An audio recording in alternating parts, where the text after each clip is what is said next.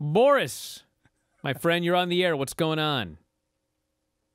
Hey, hey guys! I'm so happy to be on the air with you. Love talking to you guys. Um, I uh, was just uh, hearing about how Cody Rhodes is going to maybe sign Zack Ryder, maybe going to sign some other people. He's signing a lot of guys.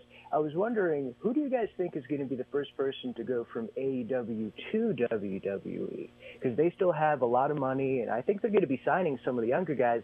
I think a Darby Allin or an MJF could definitely wind up going there. Well, I want to thank you very much for the call. I mean, we interviewed Darby Allin on the Jericho Cruise, and he ravaged WWE. I would be very surprised if he ended up going to WWE. MJF, I mean, MJF is going to be an interesting one. I mean, you know, the impression I get is that MJF absolutely positively loves being in AEW, and he is a guy who you know, he can talk and he can he can work.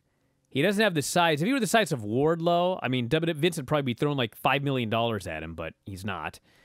But does MJF want to go to WWE where he knows he would have to do scripted promos? He knows he'd get a new name. He knows he would be handcuffed in ways that he's not going to be handcuffed in WWE. I mean, my guess, my guess is that the first person that you see going from AEW to WWE is going to be a mid card guy that AEW doesn't do a ton with. And right now, that would be a guy like, you know, Joey Janela. He's not on the show every week, he's there every now and then. He does his match. You know, he wins some, he loses some. I mean, if, if WWE made a big offer to Joey Janela, or or uh, who else would be in that? Um, uh, I'd have to go well, through. Let's look through the rankings. Like anybody who's like in the middle or near the bottom that you don't see very often on on, and they're doing a lot of stuff on Dark or whatever.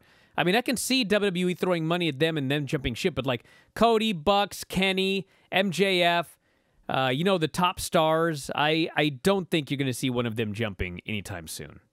No, I don't think so either. And time and place will have a lot to do with it. You know, I mean, because you know, an easy answer would be a Jericho type because he's got that kind of movement and the ability to move, you know, back and forth. I think if unless it's a name like that, it would be somebody that is a quote unquote homegrown, like you mentioned, a a Janela, a a Kip Sabian and Penelope Ford as a team, you know, getting an NXT deal or something like that. I, I figure it would be somebody like that who, you know, is not an, already an established WWE name. It's going to be, again, unless it's a big name like a Jericho or something like that, you know, I can't see any big name leaving WWE and then going back anytime soon. I could be wrong, but uh, I doubt it.